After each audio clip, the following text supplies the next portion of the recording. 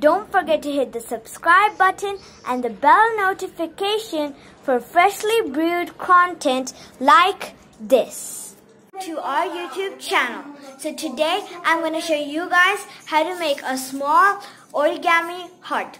For this, you'll need a triangular piece of paper. So let's get started. So first you're supposed to fold it to the top like this.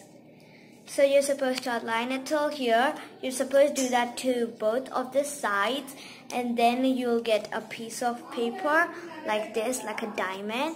And then the back side you should fold it into half. So then at the back it'll look like this. And then these sides you're supposed to align them like to this line like this.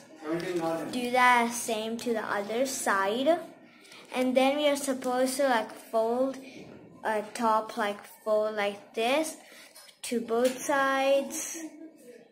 And then we are supposed to do it to the edges. Like this. Let's also do this to the other side.